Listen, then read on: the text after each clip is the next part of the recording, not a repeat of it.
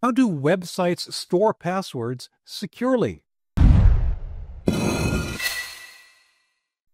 Hi, everyone. Leo Notenboom here, not an AI, for AskLeo.com. Here's a question I got. After reading your excellent article, How Can a Hacker Try All Possible Passwords If Systems Block the Login Attempts? I still don't understand. Even if a hacker has stolen the user database of logins and hashes, how can they duplicate the method of hash creation used by any particular website? I would think that different websites would use different hash creation formulas. You would think. And they should. That's what makes it so frustrating when these attacks are ultimately successful. The problem is that security is sometimes an afterthought. In fact, it's often not thought of in any deep sense until after a successful attack. The good news is that there's actually something simple you can do about it.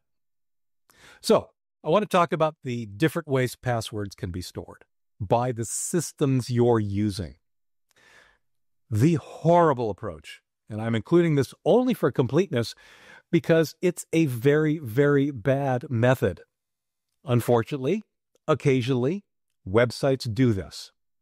For example, if your password is password, then somewhere in the account database in a password field is password.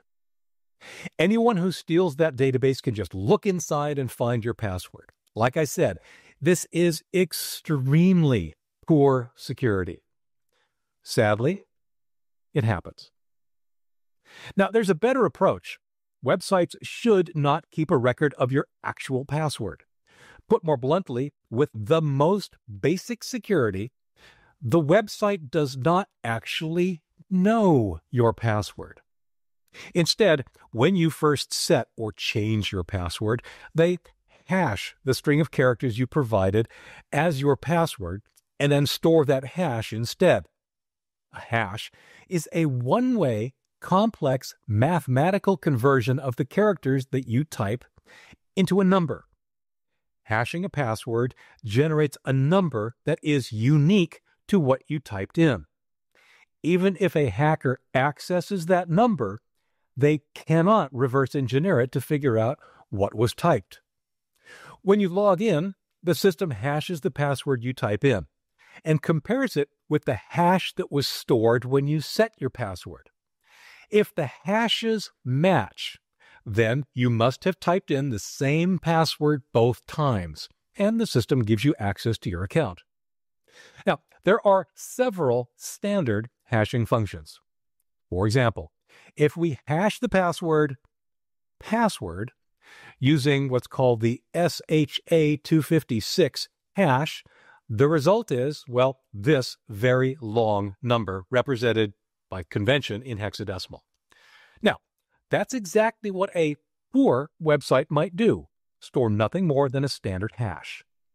The problem is that anyone who hashes password using SHA-256 will get exactly the same results.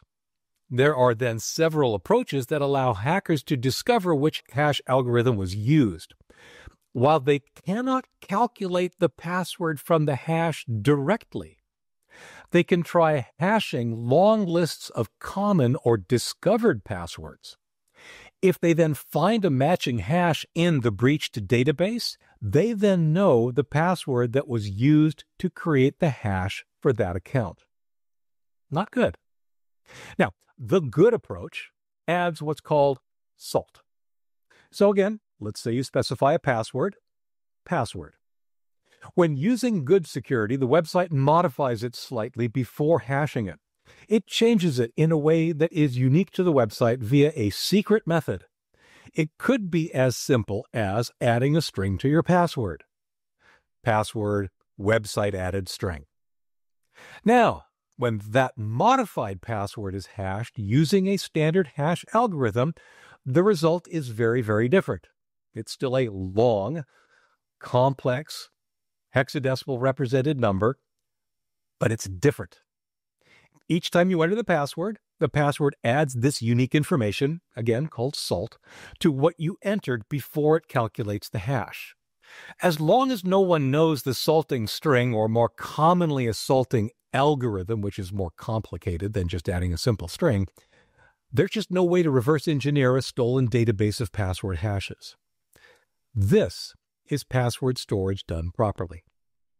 Now, whenever there's a report of a user account database breach, I look for information about what the database contains. I look for one of three phrases unencrypted passwords. This is horrible security because it represents no security. Hackers don't have to work at all. The passwords are theirs for the taking. If you're affected, change your password immediately. Unsalted password hashes. This is the poor scenario above. The website designers made an attempt at security, but a poor one. Passwords are likely to be compromised, I'll say in short order. Again, change your password as soon as you can. Salted password hashes. This is the good scenario above. When I hear this phrase or its equivalent, I worry a whole lot less.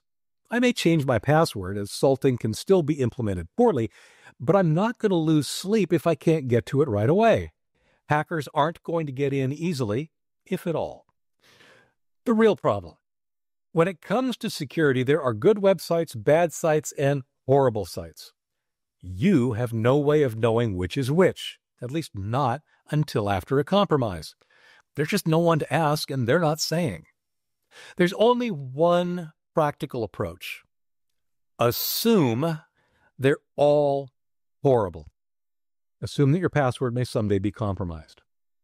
That's simply another reason to adhere to the most basic rule of password security. Always use a different password on every site. That way, if one site gets compromised, your other accounts are not at risk. In other words, keep doing what I hope you're already doing. For updates, for comments, for links related to this topic and more, visit askleo.com slash 34891. I'm Leo Notenboom, and this is AskLeo.com. Thanks for watching.